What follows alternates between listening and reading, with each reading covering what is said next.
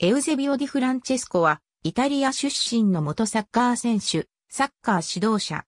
ディ・フランチェスコは、サッカー選手としてのキャリアをトスカーナ州で始め、エンポリト・ルケーゼでプレーし、1995年にピアチェンツァに加入すると、レギュラーとしてチームのトップリーグ昇格に貢献した。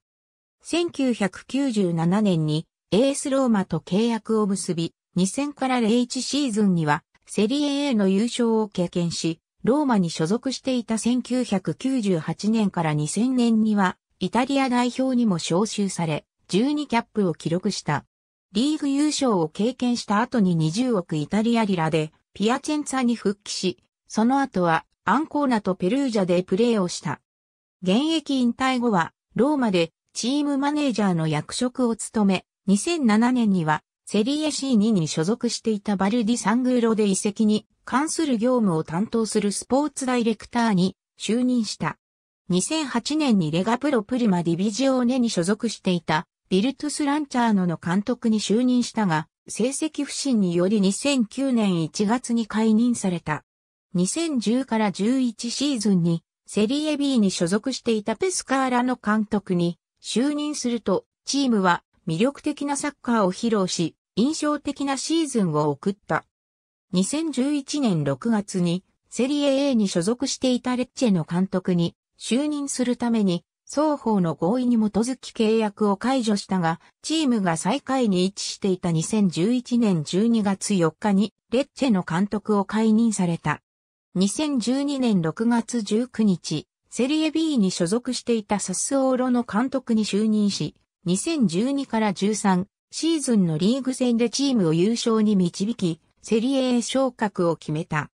2014年1月28日に成績不振により監督を解任されたが、ディフランチェスコ解任後もチームの成績は上がらず、2014年3月3日に再び監督に就任した。再度の監督就任後は、最後の7試合で13ポイントを獲得するなど良い成果を上げ、セリエ A 残留を果たした。2014年6月に2016年6月まで契約を延長した。2017年6月13日、古巣である AS ローマの監督に就任。UEFA チャンピオンズリーグでは、準々決勝で優勝候補の FC バルセロナを第2戦での逆転で下して1983から84シーズン以来の準決勝進出に導き、対戦したリバプール FC をあと一歩まで追い詰めたが、決勝進出はならなかった。2018から19シーズンは、アリソンやラジャナインゴランら主力選手の対談により、不安定なシーズンとなり、SS ラツィオとのローマダービーとチャンピオンズリーグラウンド16の FC ポルト戦で逆転での敗北を喫したことで、2019年3月7日に解任された。同年6月、セリエ A の UC サンプドリアの監督に就任したものの、開幕から1勝6敗の最下位に低迷し、10月7日に解任された。2020年8月3日、セリエ A のカリアリカルチョの監督に就任。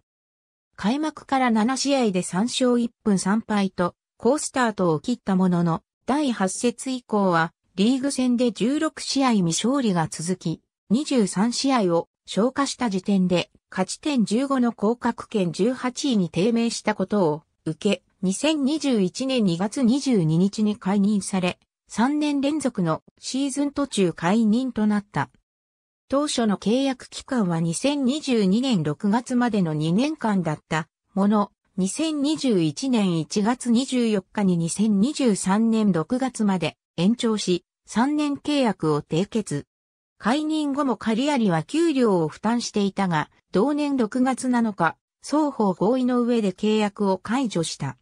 2021年6月7日、セリエ A のエラスベローナ FC の監督に就任。